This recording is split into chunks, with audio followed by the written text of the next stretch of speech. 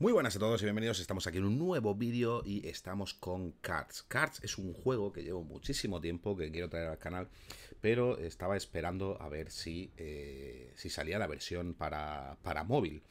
Eh, ya que la versión para móvil está anunciada y también visto que últimamente me estoy más centrado en los juegos de PC, pues he decidido traerlo, ya que tiene dos cosas que eh, me gustan mucho, que son, por un lado, los juegos de cartas, y por otro lado tenemos la Segunda Guerra Mundial, que por cierto eh, tengo intención de traer eh, of Iron, eh, de traer también Panzer Corps 2 e incluso puede, me lo estoy planteando, Total Warhammer. Pero esto, eh, Total War, perdón, pero esto es otra historia. La cuestión está en que eh, Cards es un, es un juego de cartas coleccionable con una ambientación en la Segunda Guerra Mundial, bebe mucho de la simplicidad que creó Blizzard con Hearthstone y a la misma vez añade una serie de mecánicas que lo hacen muy interesante. Es un juego que se encuentra en Early Access y que va a salir el mes que viene en versión definitiva, en su versión digamos 1.0, ya como, como fuera de la Early Access.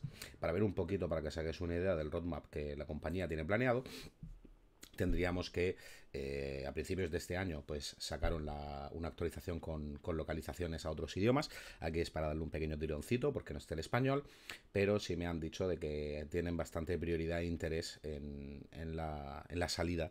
O sea tiene, son conscientes de la importancia del idioma en español y imagino pues es como todo no dependiendo de la, de la popularidad que, pueda tener el juego, pues decidirán si lo hacen antes o después. A mí lo que me sorprende dentro de estas cosas es que, bueno, sale el francés, sale el alemán, sale el polaco, sale el ruso y no sale el español, que creo, si no me equivoco, es el segundo idioma más hablado del mundo. Pero bueno, esto es otra historia y se los perdono porque el juego eh, merece mucho la pena y porque es verdad que son conscientes de la, de la importancia. Por otro lado, ya nos iríamos a abril, que es la salida del Early Access, y luego nos iríamos a mayo, donde van a sacar la primera campaña. Decir que van a llevar una serie de campañas históricas y que tengo muchísimo interés y muchas ganas por ver cómo lo van a gestionar y eh, imagino que incorporarán nuevas cartas dentro del pool del pool digamos, completo. Luego ya nos vamos a junio, donde nos iríamos a las versiones móviles para Android e iOS, y luego nos iríamos al tercer cuarto del año, donde van a incorporar el modo torneo dentro del juego, donde van a sacar otra campaña y donde van a sacar, se van a realizar los clasificatorios al campeonato del mundo. Eh, cosa que se hará en el cuarto, eh, a finales de este año, en el cuarto trimestre. Eh, junto con la, con la salida de una nueva expansión. Es decir, que el juego tiene un set base y tiene una primera expansión y, y bueno. Vamos a, echarle un vistacillo para que lo veáis, porque la verdad es que el juego, eh, en mi opinión, merece mucho la pena, ¿de acuerdo? Es un juego, como digo, está muy bien y si te gusta la ambientación en la Segunda Guerra Mundial, la verdad es que no tiene, no tiene parecido. Y ahora veréis que las mecánicas son interesantes. Por un lado tenemos arriba a la izquierda, tenemos eh, por un lado oro y por otro lado recursos. El oro pues es la moneda típica in-game, con la que podemos comprar packs, podemos pagar los drafts, etcétera Y los recursos es con lo que podemos craftearnos nuestras, nuestras cartas. Luego tendríamos el modo training, que es jugar una partida contra la IA con un deck. Tenemos el modo batalla, que es irnos a. Y tenemos el modo draft, que vendría a ser pues la arena, ¿no? En el modo draft, nosotros elegimos si pagamos 15 eh, de oro para, para unirnos o pagamos 1,95 para poder participar en el draft y jugaremos eh, pues eh, con un deck que nos construiremos en ese momento a partir de unas selecciones aleatorias. Y eh, si queremos ir infinito con este modo pues tendremos que hacer 6 victorias. Con 6 victorias conseguiremos 15 de oro un pack bueno el pack siempre lo obtenemos y el trofeo del final que no tengo claro todavía lo que es en cambio, si hacemos las 7 victorias, eh, entonces conseguiremos 18 de oro, conseguiremos un pack y conseguiremos dos trofeos de bonus, que como digo, no, no sé exactamente lo que, lo que son.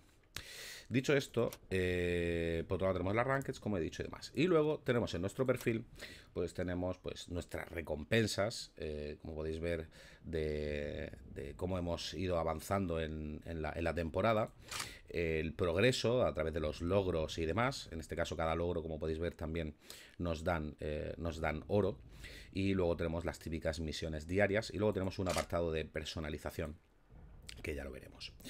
Eh, luego tendríamos la tienda, por otro lado, donde podemos comprar, pues, como veis, eh, un pack tanto de, los dos, eh, de las dos expansiones, vale 10 monedas, 10 de oro, y luego lo demás son, pues, los típicos packs, pues, que vienen, pues, distintas distintas cosas, ¿no? Incluido uno nuevo que han sacado hace poco, precisamente por la situación en la que nos encontramos ahora mismo del coronavirus, donde va totalmente a la caridad. Aquí ya podemos filtrar por cualquiera de los dos sets que encuentran, que se encuentran ahora mismo y tenemos los paquetes nacionales que lo que nos añaden es dentro de la nación que elijamos, nos añaden pues un pequeño arma cosmético para, acompañar sobre la mesa y nos añaden un reverso de las cartas distinto, aparte de unos packs, eh, si no me equivoco, exclusivos de esa, de esa nación en particular. Vamos a cerrar esto. Y eh, bueno, decir que eh, yo no lo sé porque la verdad es que, como digo, yo me he estado esperando a que saliera la versión para móvil, así que no he jugado mucho, pero eh, sí que he leído bastante y lo he seguido muy de cerca y por lo que tengo entendido es un juego muy, muy amistoso para el jugador free to play. Y he leído que incluso desde el primer mes un jugador ya puede ser medianamente competitivo. Dicho esto, eh, bueno, no sé si lo he dicho ya, tengo aquí 10 packs que me ha facilitado la compañía para poder mostraroslo, cosa que agradezco mucho. Y a la misma vez vamos a ver, echar un vistacillo a cómo funciona la, digamos, la colección, las cartas, ¿no? Aquí en este caso nos dice de, elegir un deck, que ahora lo veremos, vamos a irnos a la parte de colección directamente. Esto de aquí arriba realmente son los cuarteles generales, que son lo que no, no son todos iguales, como podéis observar.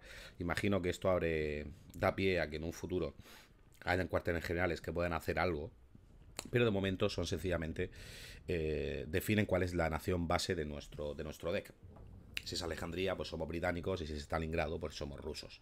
Y luego tenemos el resto de cartas dentro de nuestra colección que están divididas por un lado en la facción a la que pertenecen, pues Alemania, Japón, Rusia, América, eh, perdón, esto no es Japón, esto es Britania, eh, Japón, eh, Francia y Italia. Y luego dentro de las facciones tendríamos también en el tipo de carta que sería pues infantería, tendríamos artillería, tendríamos tanques, tendríamos bombarderos, tendríamos cazas, luego tendríamos, eh, digamos, órdenes y luego tendríamos contramedidas. Y dentro de las dentro de todas las cartas que hay eh, obviamente cada carta tiene una rareza y una característica es que dependiendo de la rareza de la carta eh, puede ser que la propia rareza nos limite es decir esta carta de aquí, como podéis observar, eh, veis que aquí sale 3 en vez de 4. Esto significa que no podemos llevar más de 3 cartas como esta dentro de nuestro deck, mientras que de esta sí que podríamos llevar 4. Es decir, eh, la propia rareza de una carta hace también que limite, no sé si ahora mismo tengo alguna más...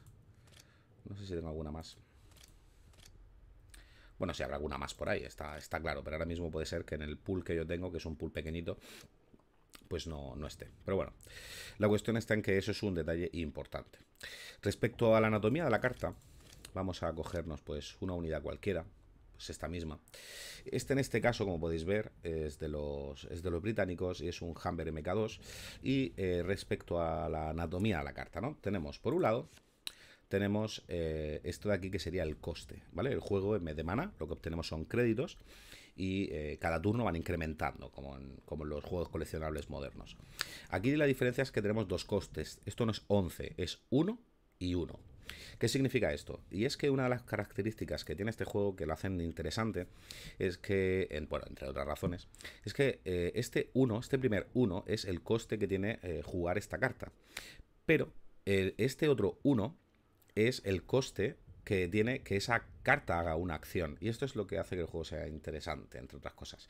Es decir, nosotros tenemos cada turno, tenemos que distribuir los créditos que disponemos entre acciones que vayamos a hacer y cartas que vayamos a jugar de nuestra mano.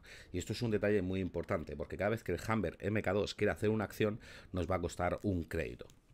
En cambio, por ejemplo, eh, si nos vamos a... Eh, vamos a ver otra que tengamos por aquí, por ejemplo, este, el BT7, pues el BT7 nos cuesta dos créditos jugarlo, pero luego no nos va a costar créditos que esta carta haga acción.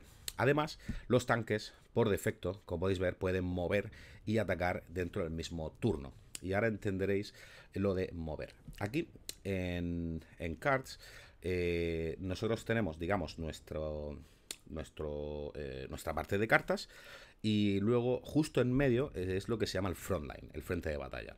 Entonces, cuando si nosotros queremos atacar al cuartel general de nuestro, de nuestro oponente, eh, nosotros necesitamos hacerlo, salvo que sean cartas especiales. Digamos que, sobre todo la infantería, los tanques, tienen que moverse al frontline. Y para que pueda moverse a frontline, el frontline tiene que estar vacío, no tiene que haber nadie. Entonces, una vez que el frontline está vacío, podemos mover al frontline y entonces ya desde el frontline podríamos atacar, vamos a llamarlo a la, retaguardia, ¿no? De, nuestro oponente, entre el que se incluye los, cuarteles generales. Eh, obviamente, ellos también nos pueden atacar a nosotros. Esto es un detalle a tener en cuenta. Y esto ahora lo veremos. Eh, otro detalle importante también, que, está muy bien y que, le da muchísima versatilidad, y es otro de los detalles que yo considero muy importante de este juego, es el tema de la construcción del deck. Los decks eh, son, bueno, aquí tengo una duda, eh, que, bueno, ya resolveré. La cuestión es que los decks son de 40 cartas, ¿de acuerdo? Entonces nosotros elegimos una eh, nación como nación, digamos, principal de nuestro deck. Podemos elegir Alemania, Britania, eh, soviéticos, Estados Unidos o Japón. Si nosotros elegimos, por ejemplo, Japón, ahora nos dice que podemos elegir un aliado. El aliado puede ser cualquiera de las otras naciones que ahora mismo se encuentran dentro del, dentro del juego.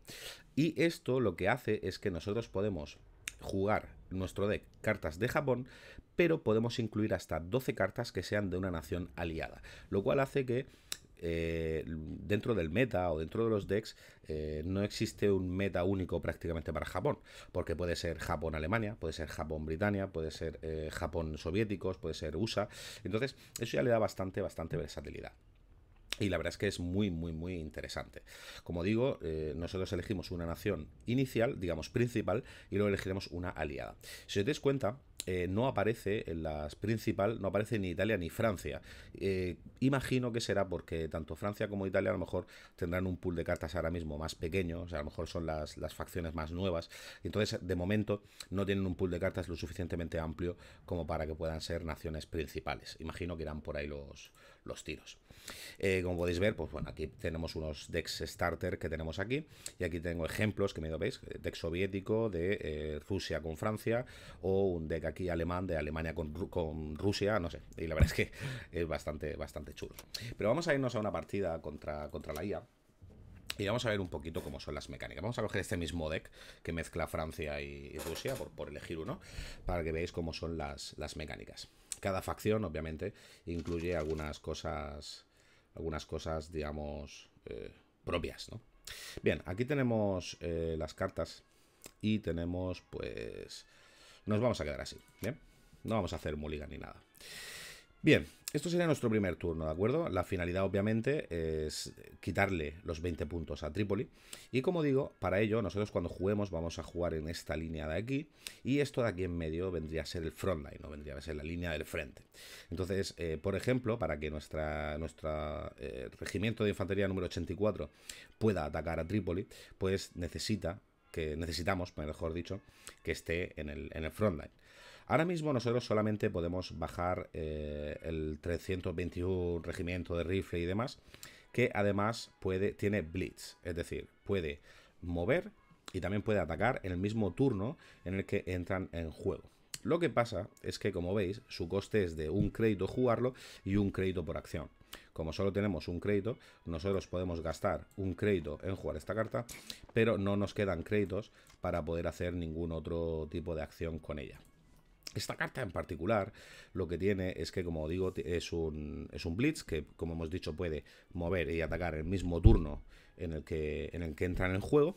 Y además tiene la habilidad de. Tiene una habilidad de, de destrucción, ¿vale? Que en este caso es que añade una infantería ligera en la línea de soporte, que es esta de aquí. Es decir, cuando esta muere, nos, nos añadirá una infantería ligera uno a uno a esta parte de aquí. Ahora mismo no podemos hacer nada más y sencillamente le vamos a finalizar el turno.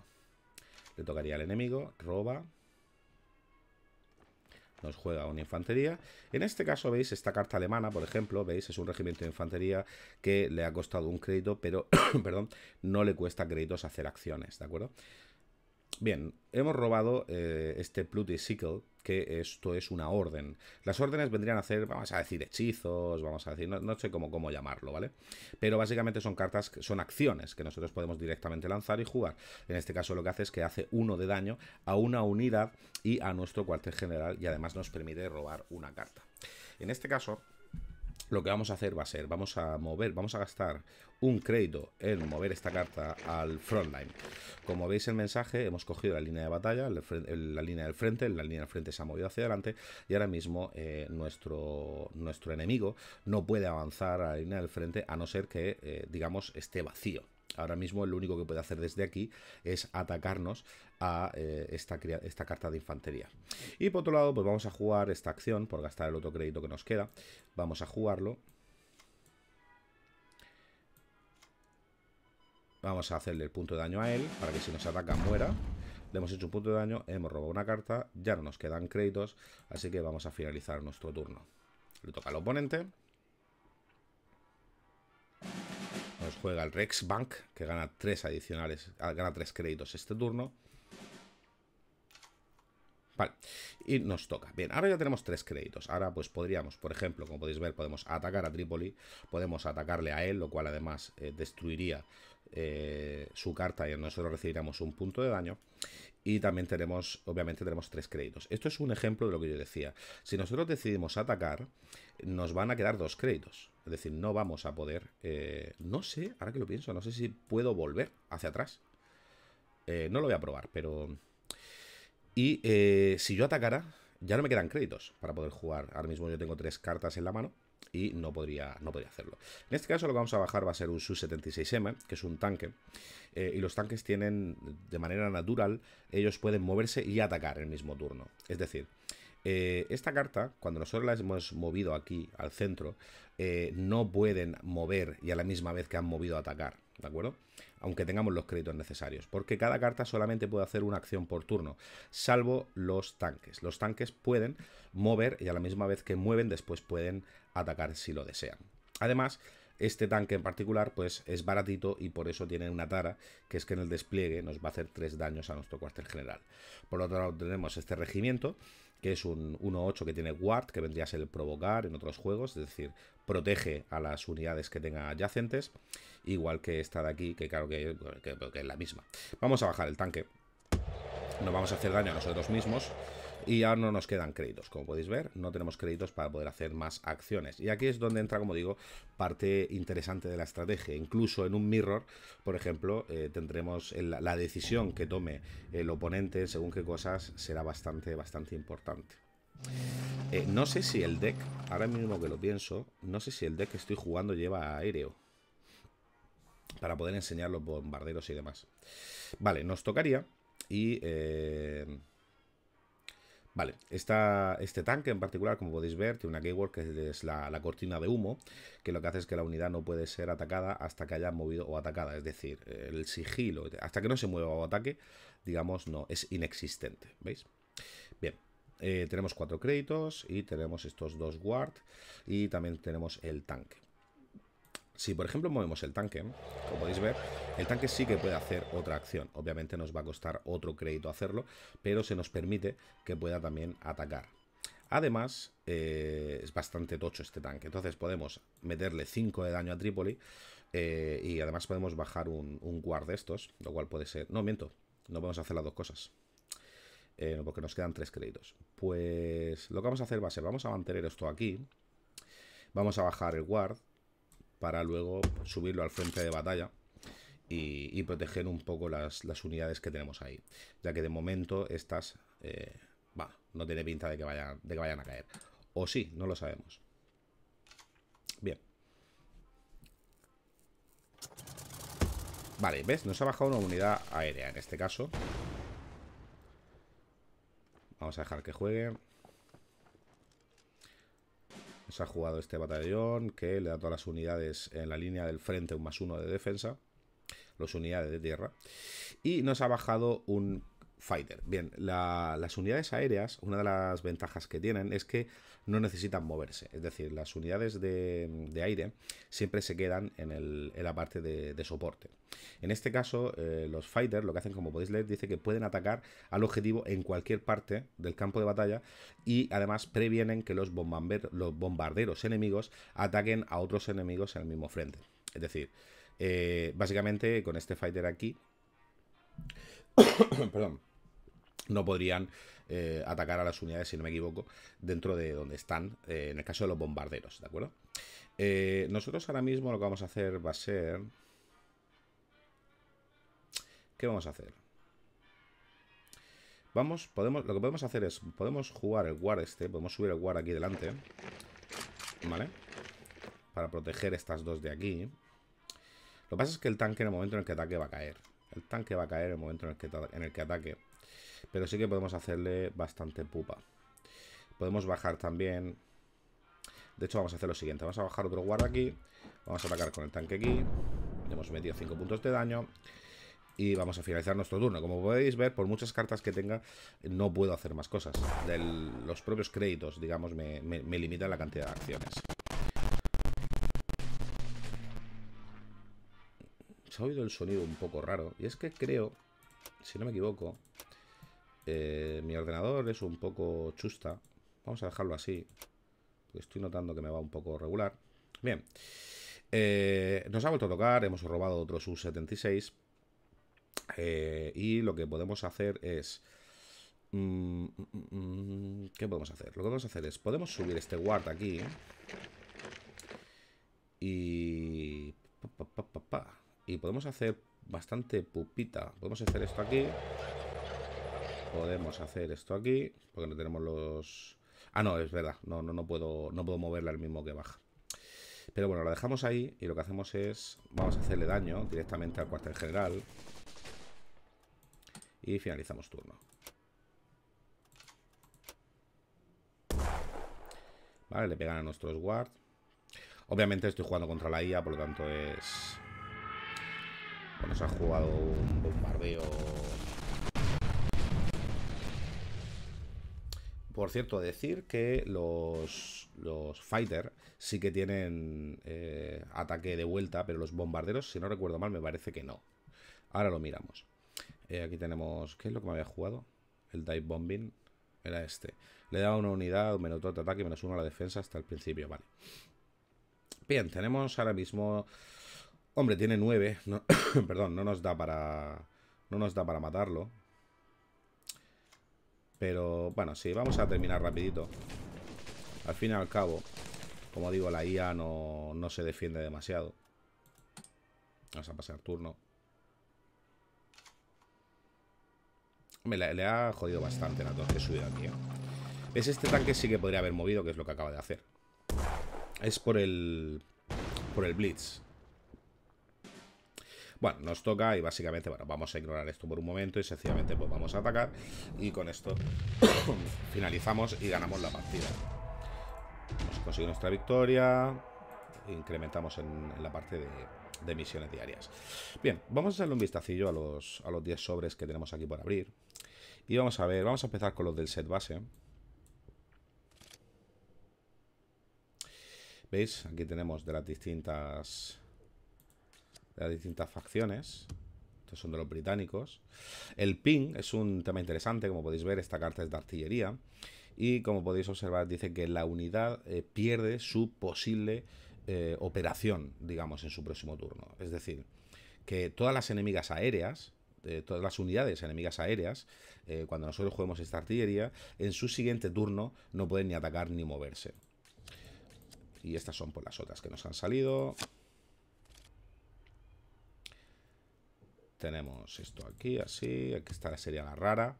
Que es también un caza, un 4-4. ¿Veis? Que nos, limita a 3. No podemos llevar más de 3 de esta. Máquina de guerra. Gana un, un slot de crédito extra. interesante. Vamos a ver qué más tenemos. Uy, una élite. General Patton. Las unidades que despliegues cuestan un crédito menos y tienen Blitz este turno. Interesante.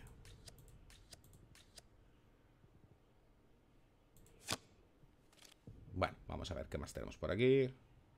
Estándar, limitada. Convoy del Ártico. Eh, no me he fijado si ha salido... ¿Ves? Aquí tenemos otra, otra artillería. En este caso hace el doble de daño cuando, cuando ataca tanques. Y es de, de los británicos. Y estándar, estándar, especial. Vamos a ver qué carta especial nos ha salido aquí. Enemigo a la vista. Si tu enemigo captura el frontline, robas tres cartas. Interesante. Es una contramedida. Vale, pues vamos a ver qué más tenemos por aquí.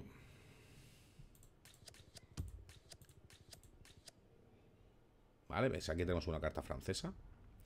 El movilizar, no sé, me acuerdo lo que era. La unidad consigue más o menos uno al principio de su turno. Y la unidad pierde movilizar cuando sea dañada. Oh, interesante. Imagino que... Vale, vale, o sea, va, puede ir engordándose si se está quieta. Pero el momento en el que reciba daño, pues... Pues perderá, la, perderá esa habilidad. Está muy bien eso. Estándar, estándar, estándar, limitada. Vale, vamos a abrir estas. Otra francesa por aquí. Type 94 de los japoneses. Añade sorpresa. Añade una, un ataque sorpresa a tu mano. Vale. Lo que pasa es que si no sabemos qué hace el ataque de sorpresa.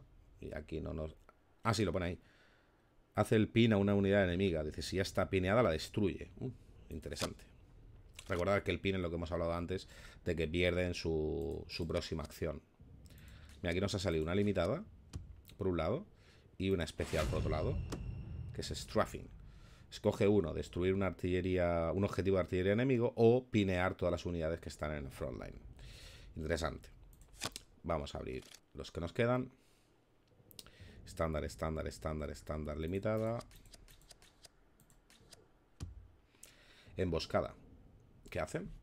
Eh, cuando ataca... Cuando es atacado por primera vez en cada turno, esta unidad hace su daño primero y no recibe daño si destruye al enemigo. Ah, es lo que en Magic sería un Free Strike o algo así por el estilo. En, bueno, en Hearthstone es que no me acuerdo cómo se llamaba. Además, el Free Strike en Magic me parece, no me acuerdo si funcionaba solo en defensa o en ataque también. No me acuerdo de eso. Son muchos años ya sin jugar a Magic.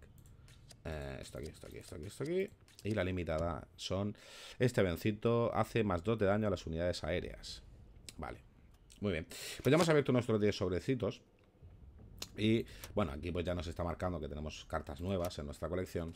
Y lo que quería enseñaros era lo de los bombarderos, porque no me acordaba. Los bombarderos pueden atacar a los objetivos en cualquier parte del campo de batalla y no reciben daño de sus ataques, excepto por los fighters, ¿vale? Esta es la parte que yo no me acordaba. Los bombarderos no hacen daño a los enemigos que le atacan, es decir, ni, ni devuelven daño a quien le ataca, ni tampoco reciben daño de vuelta cuando ellos atacan, a no ser que sea contra un fighter. Vale, esa es la parte que yo no me acordaba de los, de los, de los bombarderos. Bien, pues aquí me está advirtiendo... Vale, porque se ve que tenemos alguna, tenemos alguna carta estándar tenemos alguna carta estándar que, seguramente tenemos más de las necesarias y entonces pues nos está dando la opción del autorreciclado, ¿no? Para poder directamente quitarnos las de en medio y conseguir un, recurso. Eso me lleva a una duda y es que no sé si puedo filtrar por rareza. Eh, no puedo filtrar por rareza. Puedo filtrar por facción, por coste, por tipo, pero no puedo filtrar por rareza. Bueno, no importa. La cuestión, quería ver sencillamente, por ejemplo, eh, crearla cuesta 20, pero no sé lo que cuesta... Vale, es que no puedo destruirla. Vale, vale, vale, vale. Es que eso no... Es decir, no se puede destruir desde aquí, aparentemente. Es decir, si no tienes el total de cartas, no te deja... No, no puedes destruir. Solamente puedes crear. Solamente puedes crear. Vale. ¿Y cuántos créditos nos cuesta crear una, por ejemplo, una élite? 320, bueno, bastantes, lo típico, ¿no? Una, legendaria, el equivalente. Vale, pues yo creo que con esto más o menos lo hemos visto, lo hemos visto un poquito todo. La verdad es que, os lo digo en serio, probarlo, si os gusta, las mecánicas son muy chulas, es un juego muy divertido. Está claro que no es un juego, digamos, súper excitante de ver, de visualizar, pero sí os digo que es un juego muy divertido de, de jugar y lo vais a pasar, lo vais a pasar muy bien. Así que eh, aquí podemos dejar el vídeo, espero que lo hayáis disfrutado, dejadme en los comentarios si tenéis cualquier tipo de duda o queréis hacer algún comentario sobre el juego y ya sabéis que podéis suscribirlos, darle a me gusta y todas esas cositas, todo lo que queráis. Espero que lo hayáis disfrutado, yo soy Canter y nos vemos en el próximo vídeo.